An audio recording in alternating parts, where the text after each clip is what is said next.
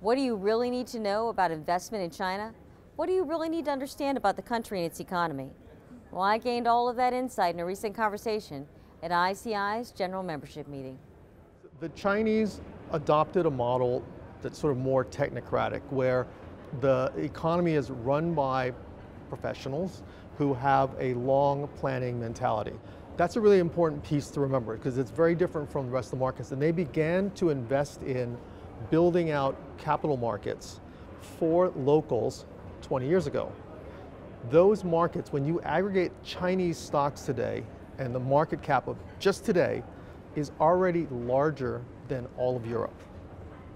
Okay, so what's happening today, but it's but up until now, it's been closed to foreigners, or a large part of that has been closed to foreigners. Obviously, there's the the the one-off stocks like Alibaba that are listed here that people understand, and, and stocks that are listed in Hong Kong. But if you aggregate that region um, and that opportunity, it's huge. So it's, it would be like waking up today, discovering a stock market that was the size of all of Europe, and saying, I actually don't have any money here. Maybe I should look at that.